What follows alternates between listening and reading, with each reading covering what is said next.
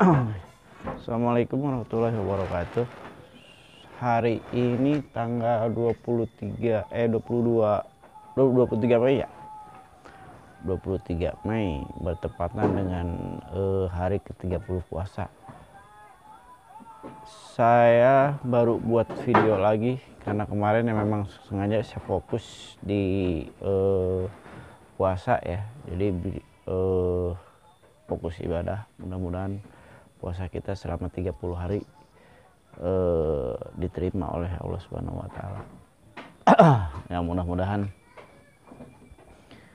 eh, dan saya pribadi di sini mohon maaf eh, mengucapkan mohon maaf yang sebesar-besarnya bila ada eh, kata-kata yang tidak sesuai dan menyinggung perasaan pihak-pihak terkait. Mudah-mudahan eh, itu semata-mata kebodohan saya. Dan bila mungkin ada kelebihan itu dari Allah Subhanahu wa taala. Dan saya pribadi mengucapkan minal aizin wal faizin mohon maaf lahir dan batin. Oke untuk konten kali ini saya akan eh, menjelaskan kandang buatan saya ya. Ini saya bikin ini pesanan kandang buat eh, ke Bandung. Bandung Ciparai ini saya bikin dengan ukuran tiang full 12 12 cm ya full. 12 persegi. Dan eh, sekatan kandang ini 80 dan ini saya pakai yang 4 cm kenapa saya bikin yang 4 cm biar kuat. Ya. Ini semua full 12 tiang-tiang sama uh, kunci dan atasnya pun ini saya pakai 12 ya. Dan ini kayunya saya pakai campur mahoni uh, menteng tisuk sama yang lainnya ya. Terus uh, di sini ini dikhususkan buat uh, domba dewasa. Buat domba dewasa karena dalam setiap sekatannya ini di bawah eh, di belakang kalau dipakai domba kecil ini bisa keluar. Ini khusus buat domba dewasa yang berukuran grade A atau B. Ya sebenarnya sih buat grade C juga bagus tapi buat grade A masuk gitu kan. Dan ini saya bandrol di harga eh,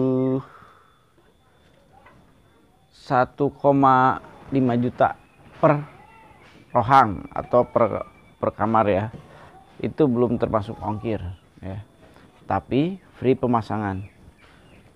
Di sini saya bikin ya mungkin kalau misalkan orang bilang ada yang bilang ya masing-masing tanggapan ya ada yang bilang mahal ada yang bilang murah.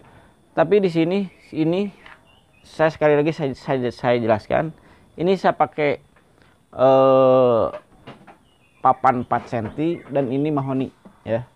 Ini mahoni ini pun 4 cm sini. Ini pun 4 cm ya. Ini 4 cm dan ini 4 cm dan ini dindingnya saya pakai yang 3 cm yang 3 cm ini tebal lumayan tebal ya teman-teman. Tebal kira-kira segini ya.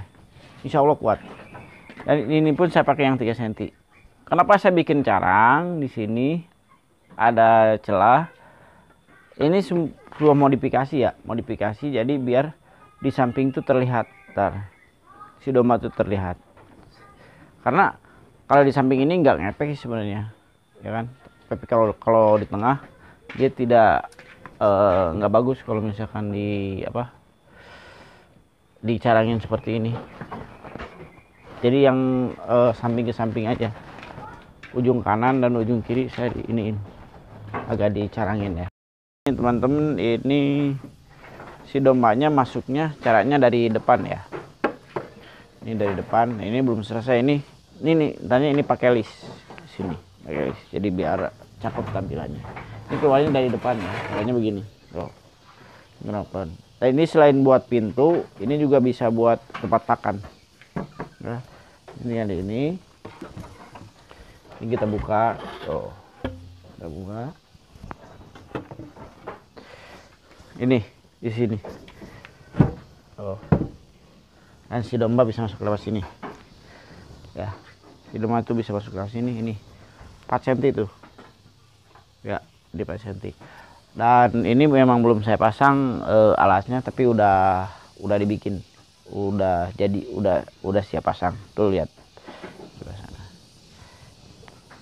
Sebenarnya itu bambunya masih hijau. Bam- bambunya masih hijau nih. Cuma ini memang ininya belakangnya. Ini oh. Ya bambunya masih hijau. Hijau masih fresh. Sekarang kita tutup lagi ya. Tadi kita buka sekarang kita tutup lagi nih. Siap.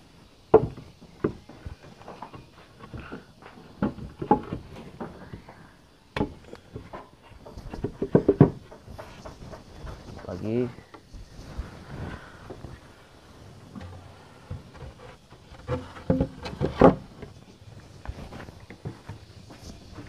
oke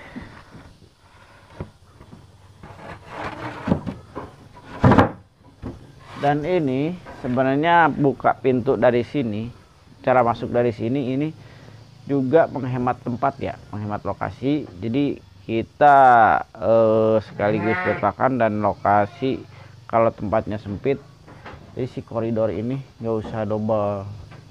Coba buat pintu masuk karena ini udah ada dari sini. Oh ya ini sekian untuk spesifik spesifikasi kandang.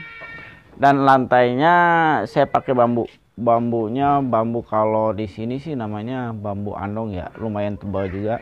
Ini dia nih ini belum saya pasang ya.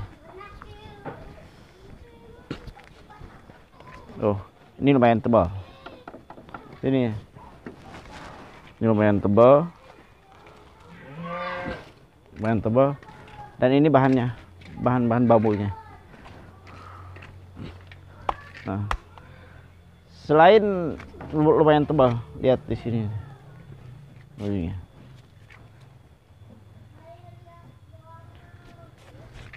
Dan ini saya siapkan eh kalau saya pribadi nih teman-teman ya karena di sini banyak bambu punya eh, warga setempat jadi saya memanfaatkan eh, potensi alam di sini. Saya mau bikin kandang domba Garut eh, dimodifikasi ya antara eh, bambu sama kayu. Ntar saya saya saya padukan ya. Ntar kalau udah selesai eh, saya eh, upload videonya buat teman-teman semua oh ya untuk uh, untuk domba untuk domba mungkin eh, ini ada si ganteng satu ya di band tapi dia di grade C. Sementara ini ini udah di booking buat Idul Adha nanti. Oh ya buat temen-temen yang mau ngebooking mungkin H plus 10 atau H plus 15 udah bisa ya udah bisa di sini. H plus 10 atau H plus 15 sampai H plus 15 Ramadan ini. Idul Fitri udah bisa eh, saya udah open booking ya buat eh, hari kurban nanti. Di sini bisa harga kalau lebih awal bisa lebih murah tapi ada biaya perawatan. Tapi tetap jatuhnya lebih murah daripada eh, eh, hari hari-hari udah mendekati Idul Adha ya. Bisa juga buat jual lagi dan eh, mungkin buat opening nanti ada di harga yang di bawah 5 juta ya. Mudah-mudahan eh, video ini bermanfaat. Cukup sekian dulu dari, dari saya dan sekali lagi saya ucapkan mohon maaf lahir dan badan batin. Selamat hari raya Idul Fitri. Mohon maaf lahir dan batin dan mudah-mudahan eh, kita semua diberi kesehatan. Amin. Assalamualaikum warahmatullahi wabarakatuh